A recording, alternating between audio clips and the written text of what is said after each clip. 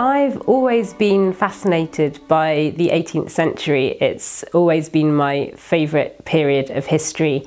And one of the things I love about it is that, um, on the one hand, you have um, quite a uh, you have the flowering of uh, the Enlightenment and intellectual thought, philosophy, politics, but on the other hand, you still have quite a brutal society with things like the slave trade and the sex trade and um, blood sports and a very brutal system of crime and punishment.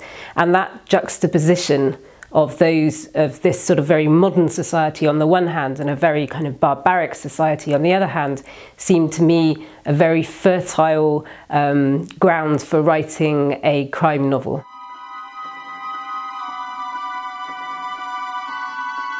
Well, I get a huge amount of inspiration um, from my research. I I usually, because my books are usually about um, a particular subject, so my first book was about the slave trade, my second book was about the sex trade, and I read quite a lot of um, specialist books about whatever the subject is.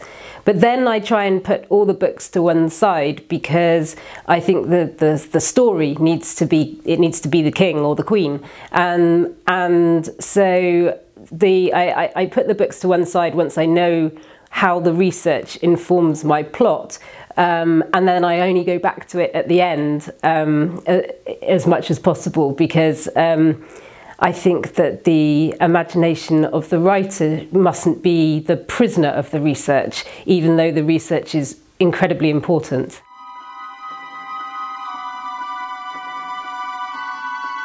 That's a really good question. So I think it's important to always remember when um, writing and reading about history that just because rules existed, it didn't mean that everybody followed them. And there certainly in, in my book Daughters of Night, um, the life and death of Lucy Loveless, um, the the heroine in that book, she is from a very privileged, uh, rich, upper class world. She is a very educated woman. And there was certainly women who um, played very active parts in, in politics. There were women writers, there were women painters um, within the upper classes of, of society. And there were also women who were having um, affairs outside their marriages and pursuing the sort of freedom. But of course, they could also be really punished for for stepping outside of the the confines that society expected for them and I try to illustrate that in the book so I've tried I tried very hard not to make Caro at any point um, do things that um, that no woman would do.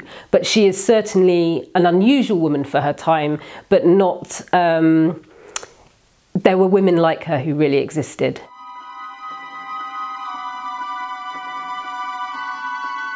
Yes, absolutely. Um, I there were fascinating, brilliant, intelligent women throughout history, and um, you, you know, any reading of, of any history book will provide you with so many examples of women doing interesting things um, and always, always pushing at the boundaries that constrained them. And those sorts of characters have always held enormous appeal to me. Lucy Loveless, it was a book very much about women's lives, and it just seemed obvious to me that it should have a strong female character as the, as the heroine.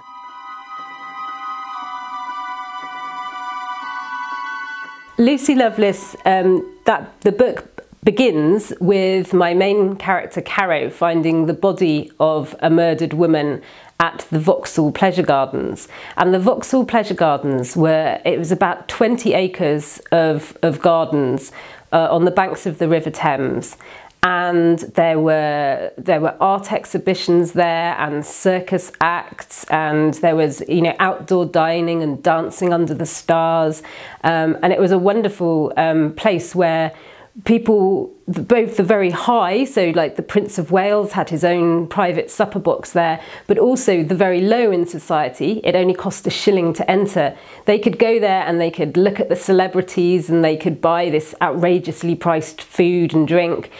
And I think in the age of COVID, in the era of lockdowns, this would be a wonderful thing to bring back. And I, so, you know, I'm, I'm, my campaign is to bring back the Vauxhall Pleasure Gardens.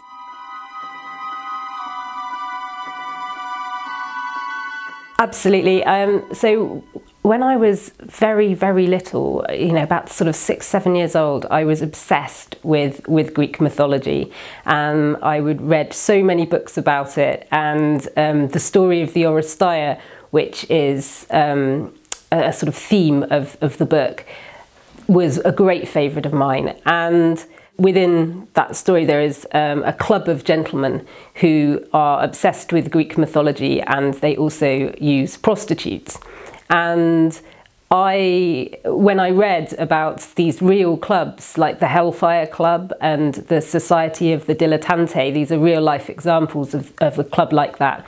And they were obsessed with Greek mythology. And I just, it was like, uh, you know, the perfect discovery for me because um, I decided from that point on to have Greek mythology informing all aspects of the book. Um, and the 18th century, they were absolutely obsessed with ancient Greece and ancient Rome, so it was really easy to kind of weave that throughout the book. Um, and I was, you know, it was one of those discoveries from your research, which is just perfect.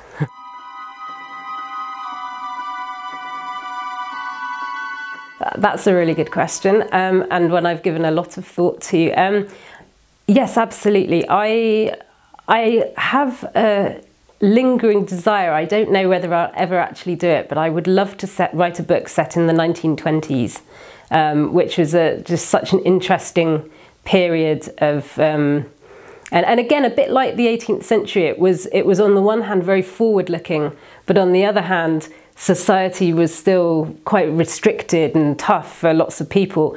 Um, so that greatly appeals to me. And I'm also giving serious consideration to writing something set in the modern day. Um, and so that may be my next project. I'm, uh, I, I'm still thinking about that.